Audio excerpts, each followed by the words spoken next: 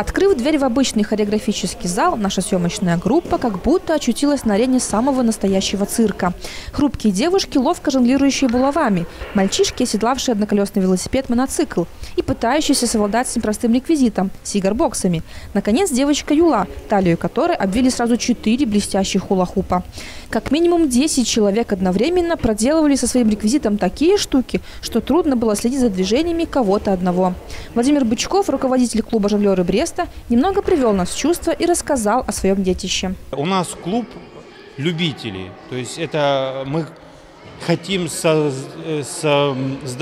в, в нашем городе новую форму отдыха, активный отдых, куда можно прийти, встретиться с другом, привести с собой друга, подругу, прийти самому со своими детками и, по, и позаниматься чем-то таким новым, чего до этого времени у нас в городе, наверное, не было. Шарфиками можно, шариками, э, булавами, э, обручи можно, то есть все, что можно под, подбросить, все можно словить. Но мы знаем, как это сделать хорошо, красиво и четко. Отвлечься от учебы и работы, осуществить детскую мечту, почувствовать себя в шкуре настоящего жонглера. Мотивы, которые приводят в клуб, у участников абсолютно разные. Впрочем, как и возраст. У меня стоит сейчас цель профессиональное использование левой руки в определенных, э, приобрести определенные навыки.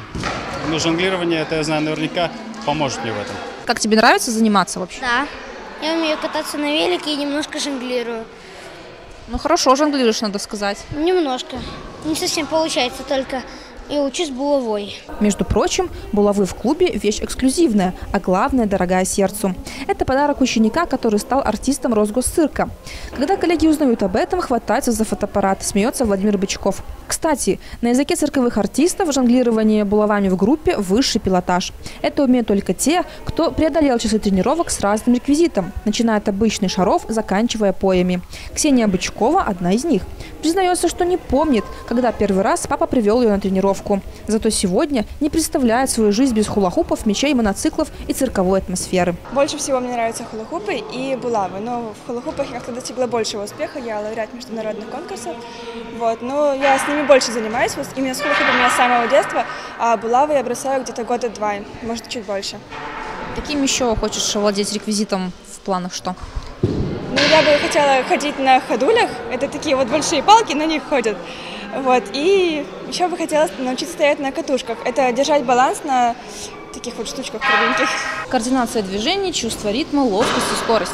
Вот неполный перечень тех качеств, которые могут развить обычные шары. Ну что, попытка не пытка.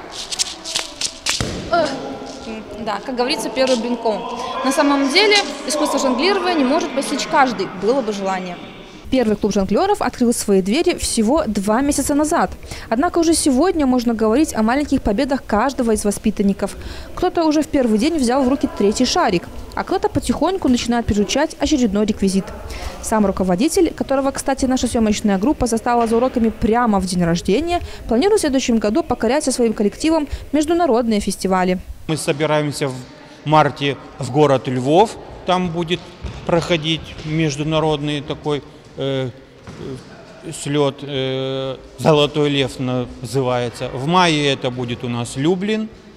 И в июле месяце тоже будет э, в городе Люблине идти ев европейское такое э, меро, меро, мероприятие. Попробовать себя в новом амплуа, развить добрый десяток полезных качеств, а также окунуться в цирковую атмосферу может любой желающий.